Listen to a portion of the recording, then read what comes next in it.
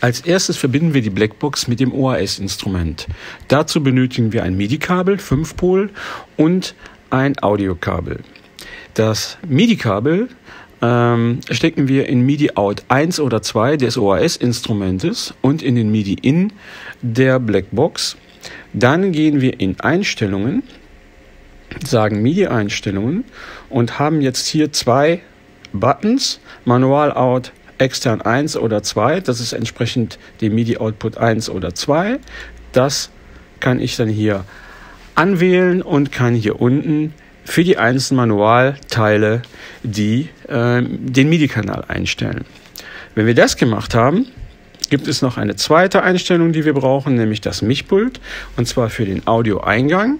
Das heißt, wir verbinden ja die Blackbox mit dem Audiokabel in den Audio 1 oder 2 Eingang des OAS-Instrumentes. Das müssen wir dann hier am Mischpult des OAS-Instrumentes einstellen, das heißt Lautstärke. Und natürlich haben wir auch hier die Editierfunktionen Gain. Äh, hier haben wir noch einen Equalizer. Hier können wir sagen, welche Ausgänge und natürlich hier die Effekte. Die können wir auch noch dazu schalten. Ähm, ja, das Ganze speichern wir natürlich ab in ein Mischpult-Preset. Das können wir dann zum Beispiel auch BB nennen. Und wenn wir das gemacht haben, dann ist das OS-Instrument perfekt mit der Blackbox verbunden.